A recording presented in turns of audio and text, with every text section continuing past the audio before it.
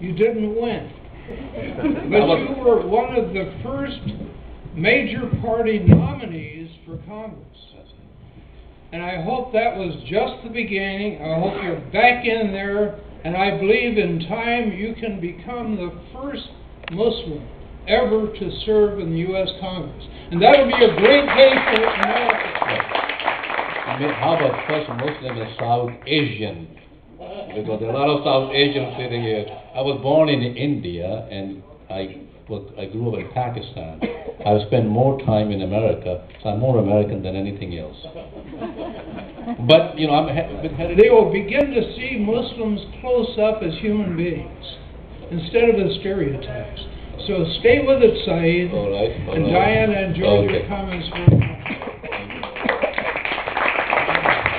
I'm uh, not on anybody's payroll,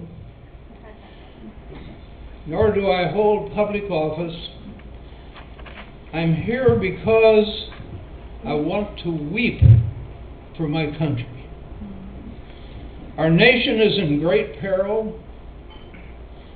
The challenge is certainly great, but in my view, the basic goodness of the American people will surface eventually when they have the facts about the situation. So I'm not giving up. Almost all of my time since I left Congress in 19, June, January of 1983 has been spent in my quest for a just peace in the Middle East. And I must say, as I read the headlines, I haven't done very well, I must admit. First, a word of introduction. I've had a lot of unique experiences. A veteran of 22 years in Congress, 65 years as a champion of human rights for all humankind.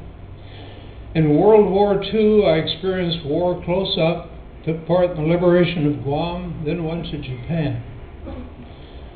And a few days after I arrived there, I borrowed a Jeep and drove to Nagasaki and walked through the rubble, just a little bit of rubble that remained, of a, an immense progressive city where more than 60,000 human beings were incinerated by a single bomb. I deplore anti Semitism and any other form of bigotry. My proudest moments in Congress were when, in the 1960s, I could vote for the civil rights legislation. I believe deeply in the rule of law. In Congress, I offered what I call rule of law resolutions to end the Arab Israeli War of 67, to end the war in Vietnam, and after leaving Congress, I sent a recommendation to my friend, the foreign minister of Iraq, Nizar Hamdoun.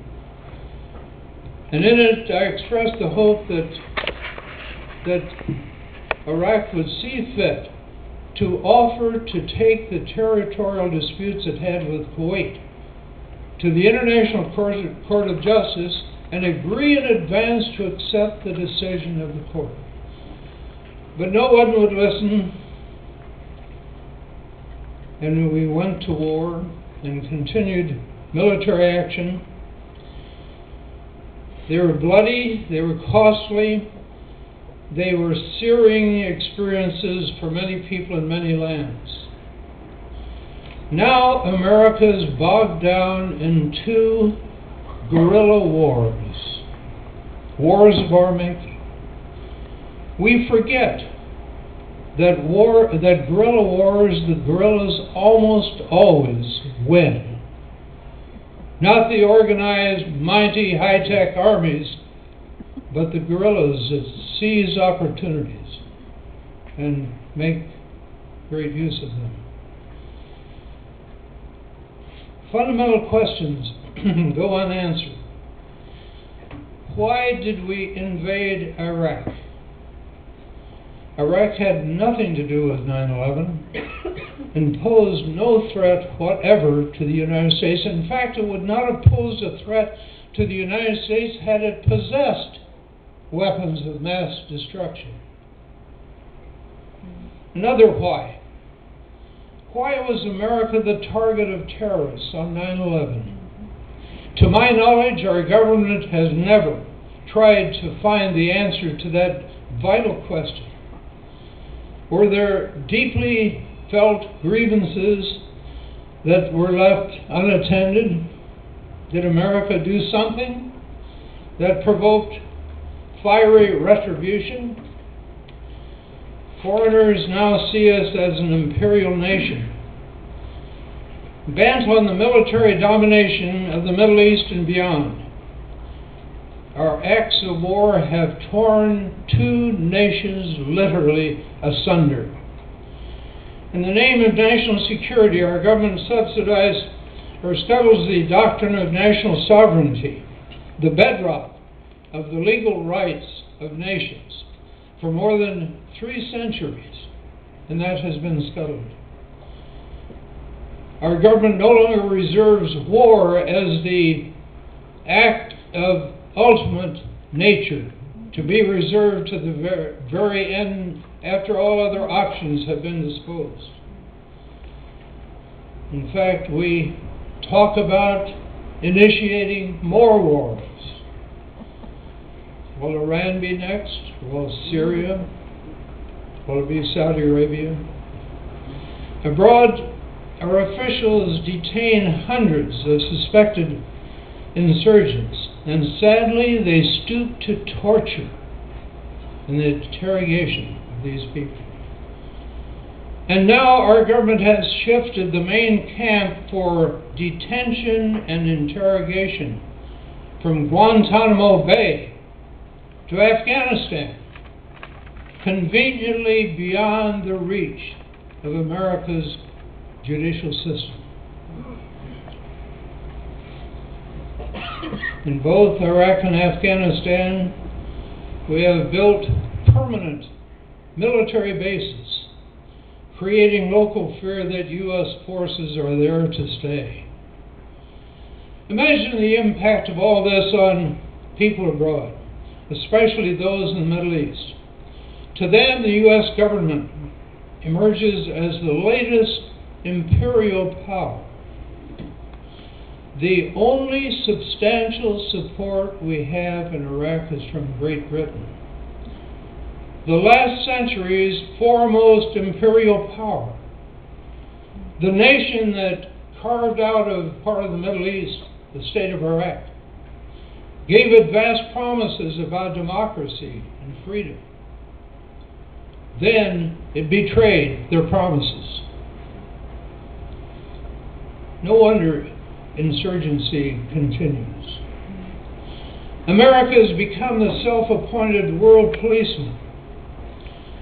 The world needs a policeman, but the, no nation state is equipped for that task, and none should attempt it.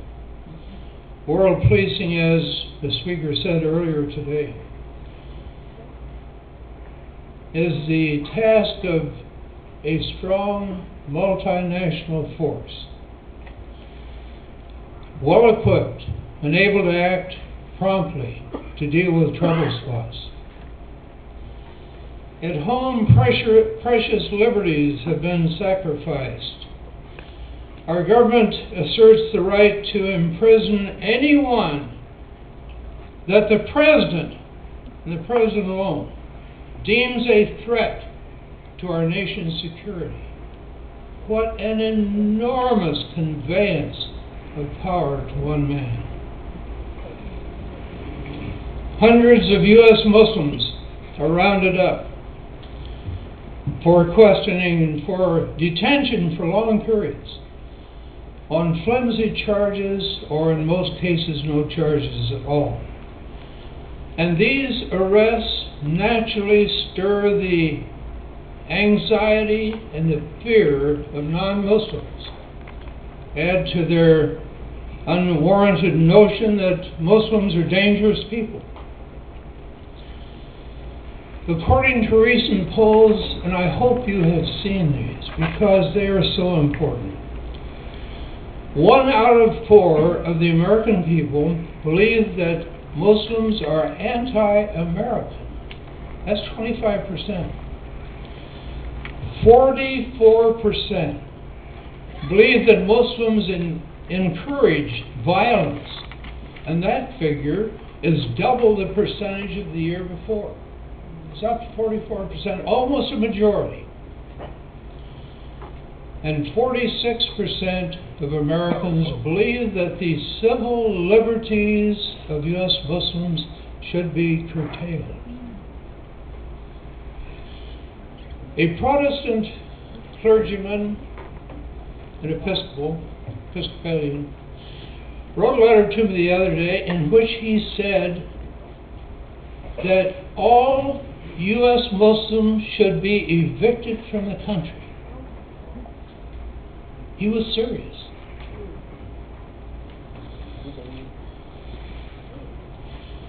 After discarding one promise, premise after another, the president now calls the war in Iraq one to establish democracy and freedom. Ponder this question.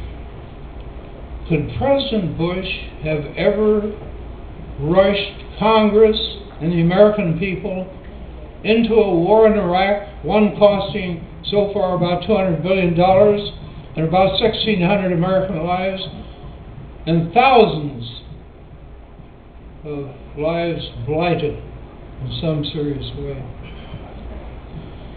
Just to bring democracy and freedom to Iraq? Preposterous.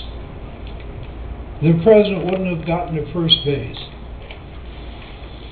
Imagine the impact of all this. It's, it's bound to be sobering. Invading Iraq was the worst, first and worst folly in American history, exceeding all others. As a grim testament, more than 1,600 caskets containing youthful remains have been shipped from Iran, uh, from Iraq to grieving families here in America. Wounded fill the hospitals.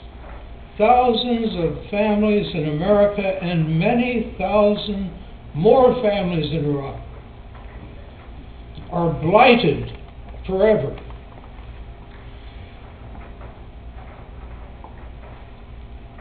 At the end of the Gulf War, an incident occurred that that you can cite as one of the reasons why the Iraqi people don't trust our intentions. The first President Bush urged the Iraqis to have an uprising and overthrow Saddam Hussein. Maybe you remember that. And this prompted an uprising, a very strong. But the U.S.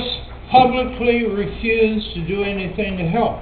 After inspiring the uprising, we said, hands off for us.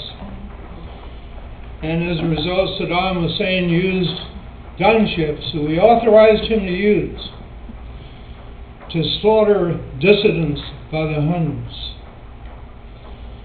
And for a decade earlier, U.S. fighter planes enforced severe sanctions that led to immense civilian suffering, including the death of at least a half million Iraqi infants. Another reason why there is distrust. And beginning with the shock and awe assault that left much of Baghdad in rubble, and the great historic city of Fallujah later on in rubble. These assaults must have an enduring impact on the lives and future actions and attitudes of the Iraqi people. I use plain language today. I say things that you may not like, But in these perilous times, I feel that I must speak the truth as I know it to be. America was once revered worldwide. Yes, worldwide. And especially in the Middle East. And now we are reviled worldwide. From being revered to reviled. And the American people seem unaware of this grim reality. We also ignore the dangerous reality that Middle East policy is not designed by U.S. officials. It is the creation of two religious communities here in America, communities that have attained great political power.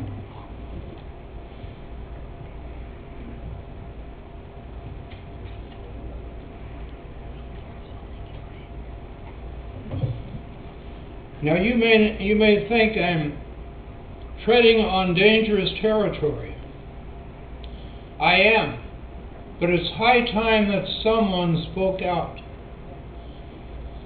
If we are to emerge from peril, we must face openly and critically the role of these two religious groups in the formation of policy in the Middle East. If we keep tiptoeing around the subject, we risk even greater peril in the future. For over 35 years, our government has engaged by proxy in a war that has to be described as a war of territorial conquest. We continue this proxy war today. And we've added two wars that we ourselves initiated on top of it. We invaded Afghanistan, we invaded Iraq. Both invasion, invasions can be traced to our government's passionate attachment to the State of Israel. Yes.